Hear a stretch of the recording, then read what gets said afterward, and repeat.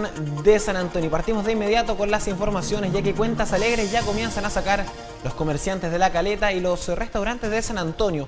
Esto gracias a las ventas que se han registrado durante la primera semana de vacaciones de invierno y además el fin de semana largo que estamos viviendo para muchos. La Armada, por su parte, dio a conocer que no se han registrado accidentes en el mar, mientras que Carabineros advirtió a los conductores que tanto este lunes como el martes habrán restricción vehicular preventiva en la región metropolitana. Todo esto y más en el eh, contacto con Álvaro Espinosa, quien eh, ya vemos en el Paseo Bellamar, en el centro turístico más importante de San Antonio. Así es, eh, ¿cómo están? Eh, muy buenas tardes. Efectivamente, esta temporada de vacaciones de invierno acompañada con este largo fin de semana ha sido bastante fructífero, particularmente para el sector comercial, turístico de nuestra provincia de San Antonio, que se concentra particularmente en nuestra comuna, en el sector de la caleta de pescadores, hasta donde han llegado una gran cantidad de turistas en busca de los mejores productos de pescados y mariscos para poder disfrutarlos en casa. Eh, y también eh, han llegado a los eh, diferentes restaurantes que tenemos en nuestro borde mar para deleitarse con los platillos de pescados, mariscos, empanadas de marisco y queso, en fin todo muy rico, todo muy sabroso. ¿Qué opinan los comerciantes respecto de cómo ha sido esta temporada de vacaciones de invierno hasta el momento y también este fin de semana largo que ha traído una importante cantidad de turistas? Eh, vamos a escuchar sus declaraciones, tanto de quienes venden pescados o productos del mar, así como también de los dueños de restaurantes de la caleta. ¿Queda todavía público para abrir? Sí, pues esta semanita. Ya después que haremos solito. ¿Cómo han estado las ventas? Buena, buenísima, sí. O sea, sin quejarse en la cosa. Sin quejarse. Queda una semana de vacaciones, ¿cómo la ven? Más o menos. es que ahora como era fin de semana larga vino gente, porque la semana no vino nadie. Todo súper malo. Mm, Siempre que hay un weekend largo, viene... Ayer hubo mucha gente. ¿Eso eh, a partir del fin de semana largo o está relacionado con las vacaciones? Eh, yo creo que hay una mezcla, pero a partir de, este fin de semana largo. Anteriormente estuvo como lento. Ahí teníamos entonces, eh, por lo menos hasta el momento, son cuentas alegres. las ventas han incrementado particularmente en este fin de semana largo, lo que significa entonces de que el resultado final de la cuadratura de caja va a ser con saldo positivo. También estuvimos eh, conversando con Alan Sánchez, teniente de la Armada, respecto de lo que ha sido el comportamiento de los turistas a lo largo de nuestro litoral central. Afortunadamente para la Capitanía de Puerto no ha habido ningún tipo de conflicto ni tampoco emergencias en el mar. Vamos a escuchar las palabras del teniente de la Armada de la Capitanía de Puerto de San Antonio. Bueno, hasta la hora los turistas se han comportado de buena manera, no hemos registrado ningún tipo de accidente ni emergencia, al menos en el borde costero de nuestra jurisdicción de la Capitanía de Puerto de San Antonio.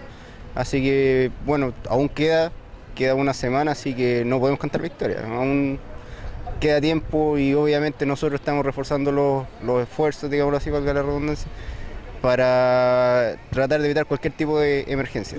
Ahí teníamos entonces el resultado, queda una semana aún eh, de vacaciones de invierno en nuestro litoral central, es por ello que el llamado es eh, particularmente a los turistas, así van a pasear por el borde mar, no lo hagan tan pegado a la orilla. Y si pretenden subirse a las rocas, absolutamente no porque esto puede traer más de alguna implicancia y algún riesgo para las personas, es por ello que el autocuidado es fundamental para evitar todo aquello. Un eh, detalle importante, hay muchos turistas que han llegado en vehículos hasta nuestra provincia de San Antonio, algunos van a eh, desplazarse a partir eh, de esta jornada de día lunes en la tarde hacia Santiago o probablemente lo puedan hacer mañana, pero ¿saben si hay o no restricción vehicular preventiva producto de la polución ambiental en Santiago? Vamos a escuchar sus palabras. ¿Viene en vehículo? En vehículo. ¿Sabe cuál es la restricción vehicular? No tengo idea, no sé si hay restricción. No sabe si hay restricción. O sea, podría perfectamente ser víctima de un parte, ¿no? Exactamente. ¿Si hay restricción vehicular estos días? No. ¿No se ha enterado? No, pero no, no vi nada en el camino. ¿En Santiago? No tengo idea, estoy desconectado. ¿Estás desconectado? ¿Y si le pasan un parte? Lo pago. Bueno, como ustedes lo acaban de apreciar, el resultado es absolutamente negativo. Nadie se ha conectado con la televisión, con las informaciones ni con la radio. Es por ello que están desconectados y no saben si hay restricción vehicular. Nosotros les contamos que hay restricción vehicular para este lunes en la tarde y para mañana martes. Esto lo ratificó Carabineros a través eh, de Mauricio Guzmán, el eh, subcomisario de Carabineros de San Antonio. Recordar que la restricción para el día lunes 1, 2, 3 y 4 y el día martes 5, 6, 7, 8 y hacerlo por favor eh, lo más temprano posible y si van a hacerlo ya en forma tardía, acordarse que la restricción es de 7.30 hasta las 21 horas de la noche, eh, hacerlo por favor idealmente temprano, irse con calma y lógicamente tomar las medidas de seguridad correspondientes como revisar vehículos, neumáticos, frenos y otros tipo de condiciones mecánicas del vehículo.